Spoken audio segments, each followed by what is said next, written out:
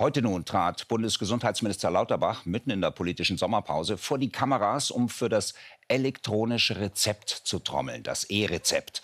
Und das funktioniert so.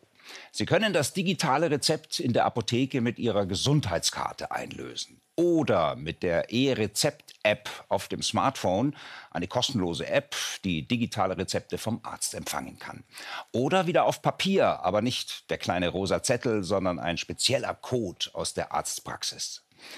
Die Zettelwirtschaft beim Rezept einlösen soll also nun 2024 enden, aber ziehen da auch alle mit, auch die Technik? Kontrollbesuch des Gesundheitsministers in einer kardiologischen Praxis in Berlin. Lauterbach will wissen, wie es mit dem E-Rezept läuft. Seit Juli ist es möglich, elektronische Rezepte per Chipkarte einzulösen. Es ist ehrlich gesagt überhaupt nicht mehr vertretbar, dass wir in der heutigen Zeit noch immer die Rezepte über Papier ausdrucken. Das ist nicht vertretbar. Insgesamt gilt, wir sind im Bereich der Digitalisierung unseres Gesundheitssystems ein Entwicklungsland. Das ist leider so. Lauterbach auf Werbetour für das E-Rezept. Bislang wird das von rund 5000 deutschen Praxen genutzt. Ab kommenden Jahr sollen Ärzte verpflichtet werden, Verschreibungen elektronisch auszustellen. In der Hausarztpraxis bei Dr. Specht in München. Hier spielt das E-Rezept, vor allem wegen technischer Probleme, bislang keine große Rolle. Prinzipiell bin ich dafür, dass in der Medizin digitalisiert wird und ich halte das E-Rezept auch für gut. Es ist bloß im Moment noch im Stadium des Experiments. Es sind viel zu viele Fehler. Es ist eigentlich für uns im Moment noch nicht in einem Zustand, dass wir es regelmäßig anwenden können. Das Ende der Zettelwirtschaft in Apotheken und Praxen ist bereits seit Jahren in Planung. Lauterbach hat Ärzte und Apotheker aufgefordert, bei der Digitalisierung mitzuziehen und nicht zu blockieren. Das E-Rezept ist erst der Anfang. Ende August soll die digitale Patientenakte vom Kabinett verabschiedet werden. Reden wir darüber mit dem Chef der Deutschen Stiftung Patientenschutz, Eugen Brüsch. Herr Brüsch, schönen guten Abend. Haben Sie denn schon mal so ein E-Rezept bekommen und eingelöst? Ging da alles glatt und einfach?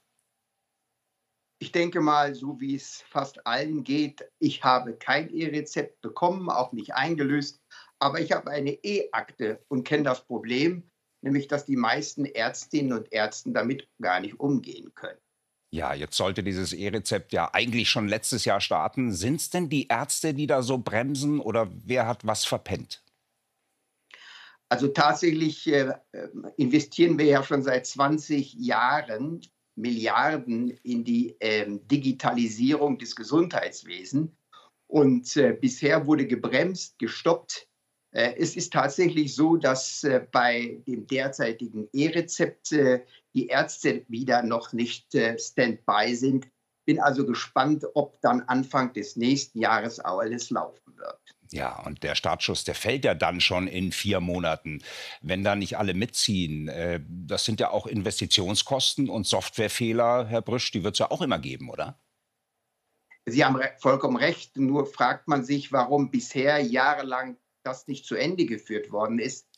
Die ganze Sache hätte ja schon seit Jahren laufen müssen, also Zeit genug war da, aber man fragt sich, wo sind die 65.000 Praxen in Deutschland, die ja endlich mal online gehen. Patientinnen und Patienten schicken immer noch äh, als Boten die Informationen zwischen den Fachärzten und den Hausärzten hin und her. Die CDs werden ausgetauscht, Papiere werden ausgetauscht. Das ist ja nicht mehr zeitgemäß.